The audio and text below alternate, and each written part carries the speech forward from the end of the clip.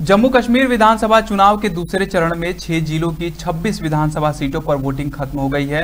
इसमें 25.78 लाख मतदाताओं ने सुबह सात बजे से शाम छह बजे तक वोट डाला। शाम पाँच बजे तक उनसठ दशमलव तीन सात फ़ीसदी वोटिंग हुई। सबसे ज़्यादा रियासी में इकहत्तर दशमलव आठ एक फ़ीसदी वोटिंग हुई, जबकि श्रीनगर में सबसे कम सत्ताईस दशमलव तीन एक फ़ीसदी वोट पड़े।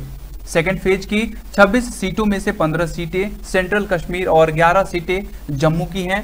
चुनाव आयोग के मुताबिक दूसरे फ़ेज़ में दो सौ उनतालीस कैंडिडेट्स मैदान में हैं। इनमें दो पुरुष और छह महिलाएँ हैं।